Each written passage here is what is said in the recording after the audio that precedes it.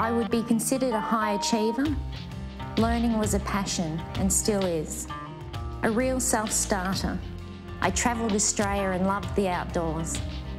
I was very physically active, competing at high levels in netball and middle distance running.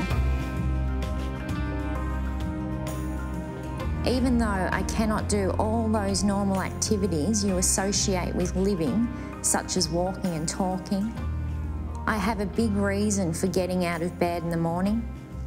I have a purpose that is about achieving, doing the impossible, and challenging myself to go that little bit further every day.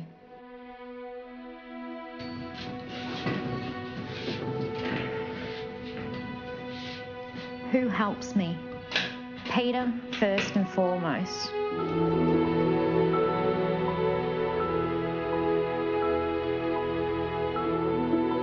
We met at a ball for race week in Darwin. It was love at first sight, but little did we know what lay ahead.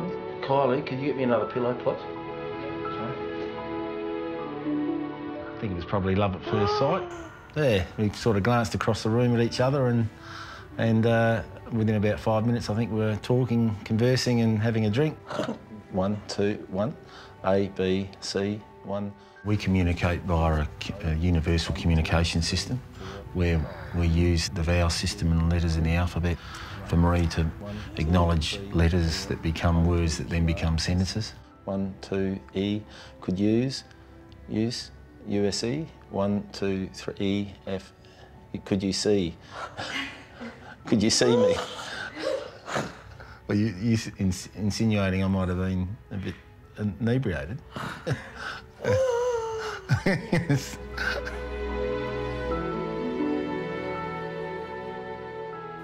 I suffered the stroke very soon after moving to Whyalla to be with Pete. He was my inspiration for survival. Well, Maree had been uh, complaining a couple of days beforehand of some serious headaches and, uh, and wouldn't go to the doctor after uh, numerous requests from myself. And um, yeah, she just uh, got up one morning, went and had a shower, and came back into the bedroom to get dressed and collapsed. And had this massive stroke. So it was pretty devastating. I thought she'd dropped dead in front of me. I thought she'd died.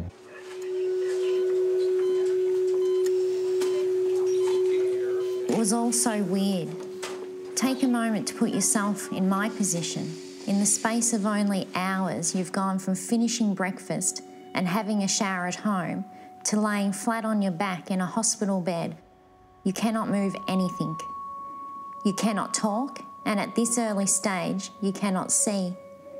There are tubes up your nose, and someone has cut a hole in your throat and inserted another tube so you can breathe. You are terrified because you don't know what's happening to you. You know you are crying, but there is no sound. Everyone around you is so distressed. It was just total shock and devastation. You know, you just think that that happens to old people not to your sister, not to your vibrant, active sister or, or daughter. I think Dad found it extremely hard. He would just walk and walk for miles.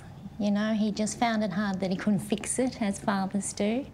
You know, and I think, as Mum said, that when you, you're told that you'll never hear your daughter's voice again, that she'll never speak and never move, that it's just, you know, heart wrenching. And that's what was so weird all this was going on outside, but on the inside, I was fully conscious to all that was happening. I could hear every word. I could recognise voices of family. I could hear the doctors talking, a priest giving the last rites. Then it starts to dawn on me oh my God, I am locked inside my own body. And at this moment, I have no way of telling anyone that I'm here. Many hours later, amongst the noise, confusion, and chaos of that first day, there was a defining moment. Not everything was paralysed. I could blink.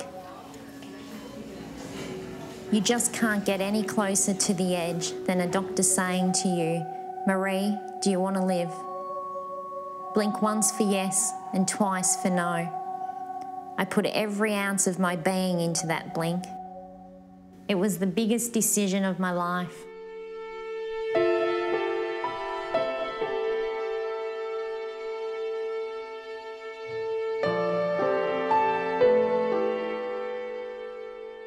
You could see in her eyes that it was the same Maree, but certainly facially, initially, it was, was hard to look at Maree and say, yeah, this is the Maree I met.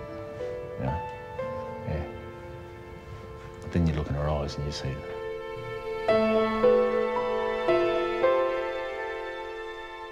What do I love about Peter? He has stood by me and stands for me, no matter how tough things get. We understand each other completely. When there are things that need to be said and done that I cannot physically do, he has been my voice and legs for 17 years. One, two, E, punishing me. You couldn't imagine life without me punishing you daily. Is that right? Yeah. And how do I feel about that? Good.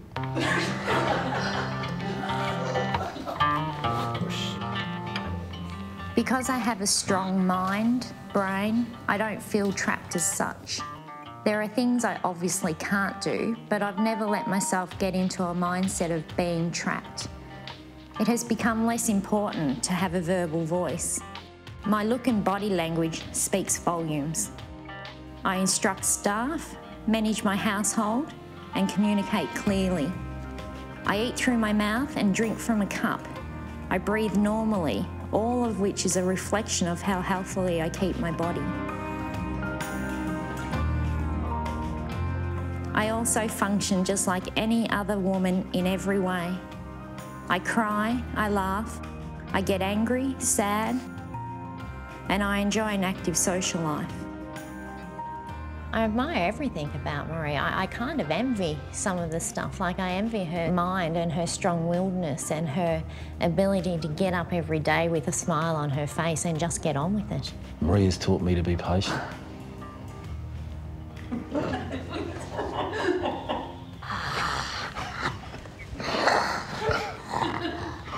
Is that convincing enough?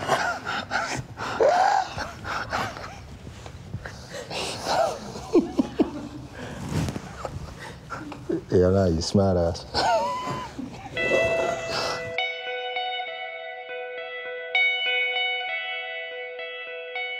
I am so lucky to have had two lives an abled life and a disabled life. How amazing is that? Yeah, I mean, certainly uh, we're soulmates. You just got to got to do it. You got to be there to give Maree all the love and support that she needs. It's a pretty big journey she's on. I have come to understand that your body is just the vehicle that carries your brain around. And as long as that is functioning, then you'll never be trapped.